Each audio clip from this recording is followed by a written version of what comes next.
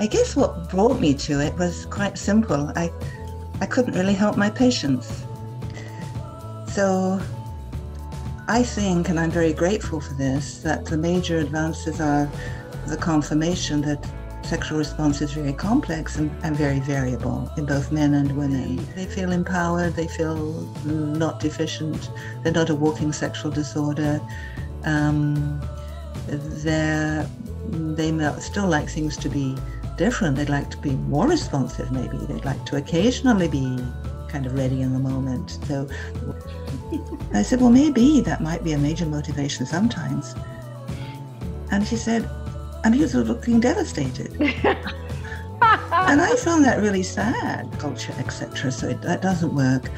And so I think our job, when we hear or we think we're hearing personal distress, is to make sure it really is personal. It's not a personal distress because of interpersonal distress. Um, but then only later is that second partner saying, oh, don't stop. I'm really enjoying the sexual sensations per se, um, in addition to wanting to be emotionally close, especially midlife women who say, I don't feel much genitally anymore, but that comes back, because that really can lessen with menopause um, and is so, so helpful now um, for them and certainly for people who've not experienced an orgasm either ever or um, more than very occasionally, uh, whenever there's an opportunity or the possibility of an opportunity to be sexual.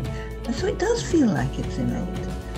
I think I learned to listen you know, more intently, um, more accepting of what I'm told, and I trust just a little more able to really feel what, what they feel as they describe it, because you